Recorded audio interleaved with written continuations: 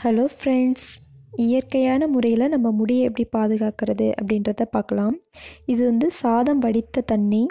இந்த தண்ணியை வந்து காலையில் நீங்கள் வடிச்சிட்டிங்க அப்படின்னு சொன்னால் அது ஈவினிங்காக நல்லா ஆறுனதுக்கப்புறம் அது கூட உங்களோட முடியோட நீளம் அடர்த்திக்கு தகுந்தாப்பில் வெந்தயத்தை சேர்த்துக்குங்க. இதை வந்து நல்லா மிக்ஸ் பண்ணி விட்டுருங்க. ஏன்னா அப்போ தான் அந்த தண்ணியில் வந்துட்டு இந்த வெந்தயம் வந்து நல்லா ஊறும். ஆக்சுவலாக பார்த்திங்கன்னா குக்கரில் வந்து சாதம் வடித்து சாப்பிட்றது ரொம்பவே நல்லது கிடையாது. ஸோ அதனால் இந்த மாதிரி சாதம் வடிச்சிட்டு அந்த தண்ணியை எக்ஸ்டர்னல் யூஸாக வந்துட்டு நம்ம யூஸ் பண்ணிக்கலாம். இந்த தண்ணியை வந்து முகமும் கழுவலாம். நல்லா ஷைனிங்காக இருக்கும் அப்படின்னு சொல்கிறாங்க இது வந்து பார்த்திங்கன்னா வெந்தயம் வந்து நான் நைட்டே ஊற வச்சு எடுத்தது. இப்போ நல்லா ஊறி இருக்குது பாருங்கள் நல்லா ஊறினோடனே நல்லா பெருசாக இருக்குது ஸோ இது வந்து அரைக்கிறதுக்கு வந்து ரொம்பவே ஈஸியாக இருக்கும். நீங்கள் வந்து நைட்டே ஊறினச்சு அப்படின்னா தான் நீங்கள் காலையில் தேய்ச்சி குளிக்கலாம்.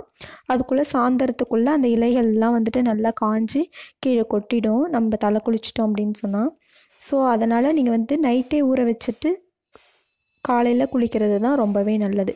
நல்லா ஊறிடுச்சு இப்போ. இது கூட என்னென்ன சேர்க்க போகிறேன்னு பாருங்கள் செம்பருத்தி பூ இருந்துச்சுன்னா அதையும் நீங்கள் இது கூட சேர்த்துக்கலாம். நல்ல ஷைனிங் கொடுக்கும் உங்கள் முடி. அதுக்கப்புறம் செம்பருத்தி பூவோட இலை. செம்பருத்தி இலை. கருவேப்பிலை.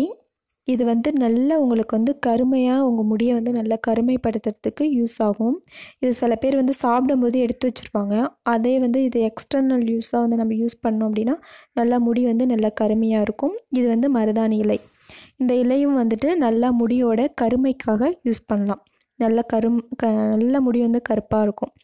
இது எல்லாத்தையும் வந்துட்டு நம்ம இப்போ என்ன பண்ண போகிறோம் அப்படின்னு சொன்னால் அரைச்சி நல்ல பேஸ்ட்டாக எடுத்துக்க போகிறோம்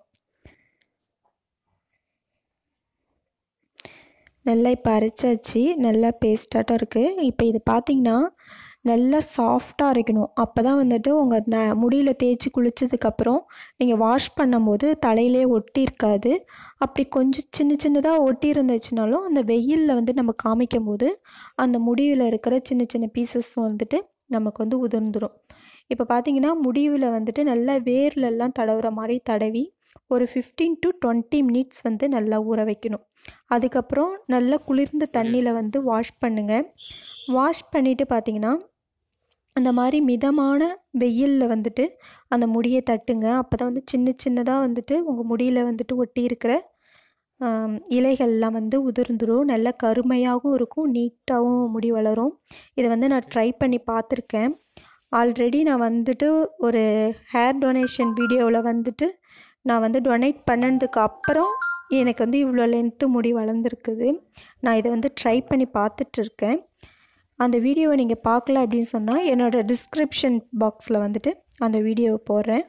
அதோட லிங்க்கை போடுறேன். நீங்கள் அதையும் பாருங்கள் இந்த வீடியோ உங்களுக்கு பிடிச்சிருந்தா லைக் பண்ணுங்கள் ஷேர் பண்ணுங்கள் கமெண்ட் பண்ணுங்கள் இந்த மாதிரியான நிறைய வீடியோஸை நீங்கள் பார்க்கணும் அப்படின்னு சொன்னால் என் சேனலை சப்ஸ்கிரைப் பண்ணுங்கள் லைக் பண்ணுங்கள் தேங்க்யூ